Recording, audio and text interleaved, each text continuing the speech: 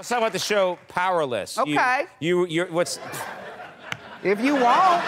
No one ever talks that way on a talk show. Why? I don't know. I like, I like what you're doing. I just wish more people did it. Okay.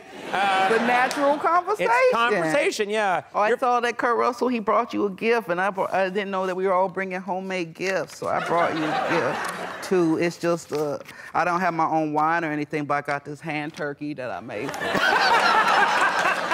That's beautiful. Look at that.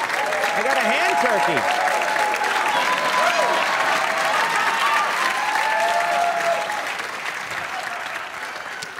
This is vintage, good vintage. Vintage. It smells good.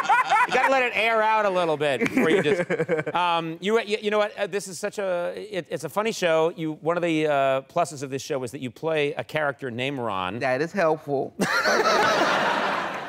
I saw. I was watching one scene where you got you were cursing out this old white woman. Oh. You just were, and you were really tearing her apart. You just I cursing out this old white woman. What was? What's it? What's it Oh. like to shoot that scene? It's personally a dream come true, to tell you the truth.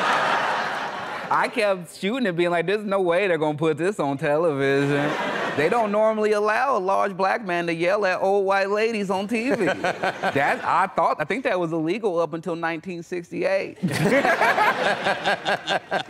I loved it. I got to yell at her, and people thought it was funny. And I was Yeah. like, oh man, I must be really charming.